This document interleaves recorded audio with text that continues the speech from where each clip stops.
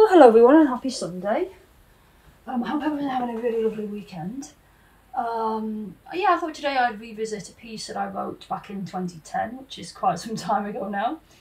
Um, yeah, to my great delight and indeed terror, I was shortlisted for an amateur uh, piano composing competition uh, with three others, actually, three, three of us all together.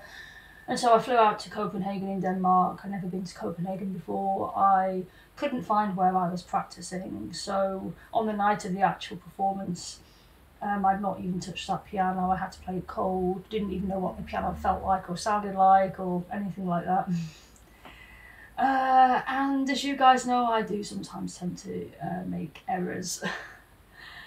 and uh, yeah, I remember the first 30 seconds, my nerves got the better of me, and I, uh, I just kind of somehow kept on playing.